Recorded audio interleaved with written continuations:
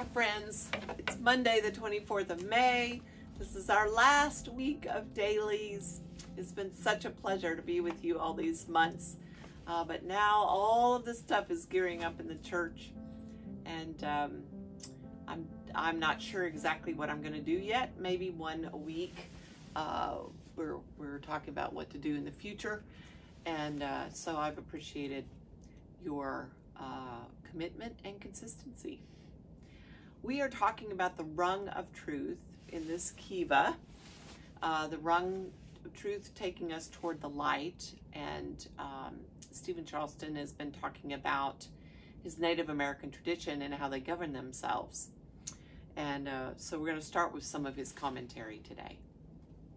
As we have seen, traditional Native American culture was not much concerned with religious truth claims in a dogmatic sense. It was concerned with telling the truth on a personal level. The social contract formed by centuries of Native American civilization made telling the truth a core expectation for all human interactions. Speaking the truth was the highest virtue.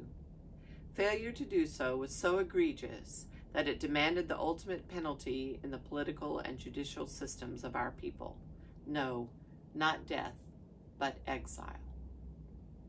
This degree of insistence upon truth-telling arises in our Native American cultures because we understand that without it, none of the community systems on which we depend will work. Truth-telling is the one essential ingredient in all of them. It is the prerequisite for a stable society. And this is uh, a post from Facebook that he put on Facebook. Say what you mean. Be honest in what you say and do. That alone could be your creed. Do no more than speak the truth to others as you acknowledge truth to yourself. See within your own motives as clearly as you see the intentions of others. Hear the truth within your own experience as much as you hear it from the world around you. Think with an open mind. Believe with an open heart. Let light shine in the deepest sanctuary of your spirit. Say what you mean and mean what you say, so that you may walk upright before the people, deserving their trust in every way. Deceive no one, especially yourself, for the honest path is the only way out of the forest. And this is his commentary. Today, from Native America's vantage point, tolerance of lies is the source of our dilemma. Once a culture allows truth to become relative or even meaningless, then the culture is in trouble. This is especially apparent in our political, judicial, and educational systems. Politics becomes the art of skillful lying. Education becomes the practice of telling ourselves what we want to hear. Justice becomes an exercise in power and privilege, not truth. The choice between truth and lies affects all social systems on which we depend, but it is most apparent in the political sphere. If people cannot believe their leaders are telling them the truth, then the whole structure of government collapses. Our anxiety, our fear of darkness, begins when we start to doubt what we see and hear.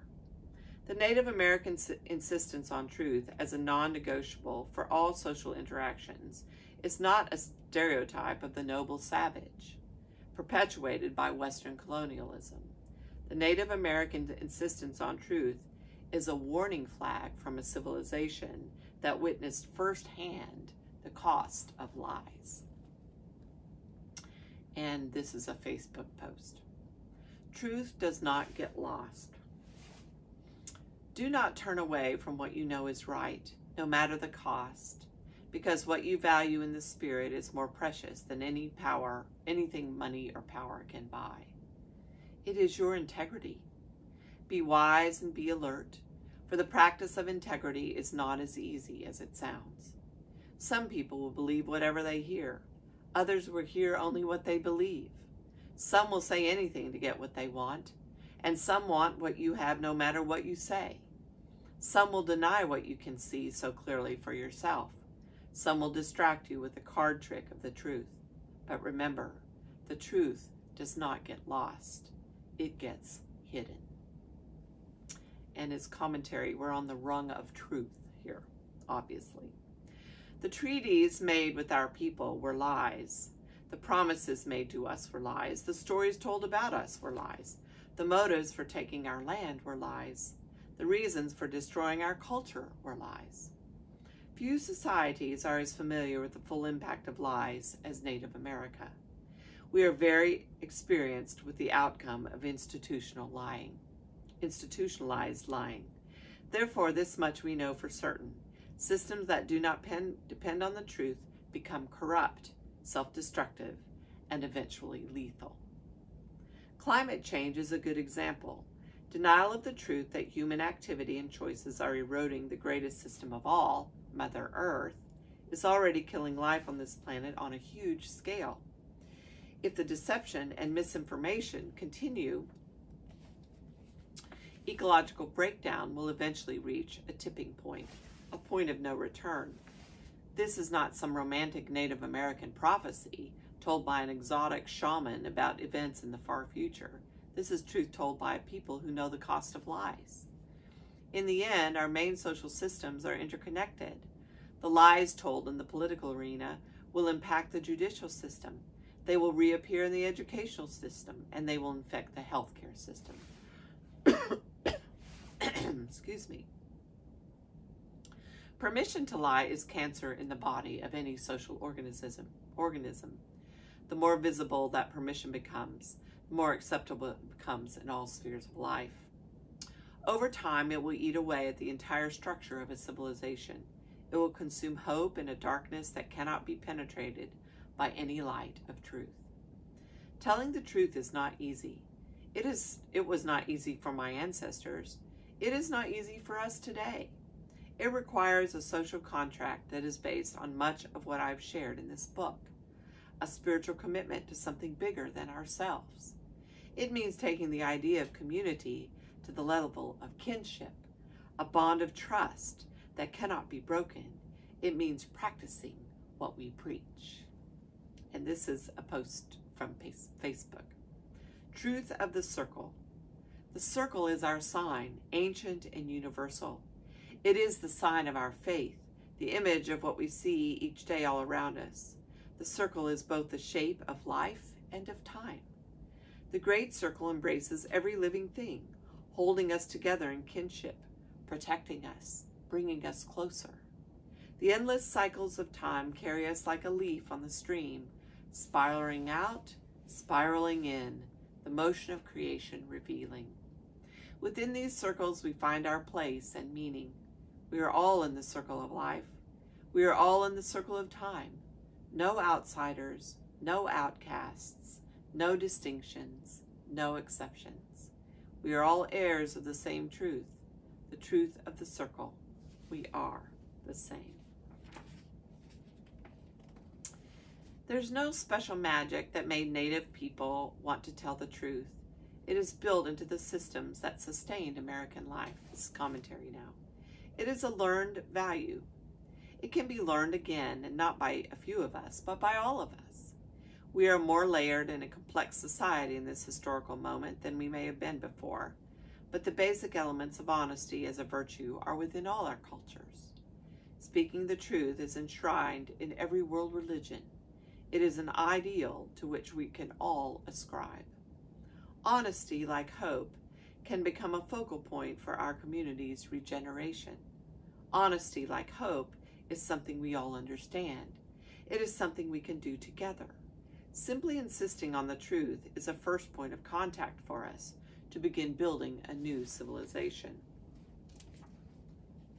The truth about climate change would be a good place to start, but there are endless other places where the light we shine into the darkness is the truth we need to hear and to speak to one another. Truth will set us free. It will renew and unite us.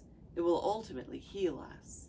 On this rung of the ladder, so close to the light above us, the need for truth in our political culture becomes ever more apparent. The anxiety felt by the members of the New England parish I visited years ago mirrors the anxiety felt by millions of people across the country today, people like you and me, it is an understandable anxiety because it arises out of our experience with political systems that try to hide the truth with darkness. Power, the kind that subverts the truth and feeds fear with lies, breeds in darkness. To prevent this injustice, we must shine enough light on political systems to make them transparent. And this is his final post that went to Facebook for this chapter. Old Dreamers. One day we will look back, a couple of old pros, veterans of the holy wars and the endless struggles of the human heart, to find our meaning, to discern our purpose, to build our sanctuary while we work the fields. And by the dimming fires of time we will talk, long into the listening night, and tell our stories of causes almost won, of visions bright and beautiful, of people we have known on our long journey home. One day we will look back, a couple of old dreamers, talking about the lives we lived, the truths we told, the paths we cleared so the ones we love can follow and find us here, waiting by the fire, wrapped in smoke and stories, the endless search of the human. Amen. One of my dreams for this church is to build a fire pit down in that big field with a labyrinth of paths going to it where people could pray and walk on the paths and we could have community gatherings around the fire, worship. I think it would be pretty awesome place where we can tell the truth in our in smoke and stories, all to embrace the human heart in Christ. I think that'd be pretty awesome. Let's pray. Our Father, who art in heaven, hallowed be thy name. Thy kingdom come, thy will be done, on earth as it is in heaven. Give us this day our daily bread, and forgive us our debts, as we forgive our debtors. And lead us not into temptation, but deliver us from evil. For thine is the kingdom, and the power, and the glory forever. I hope you have a blessed Monday today, thinking about truth. As we are told in Scripture, the truth shall set us free. Amen.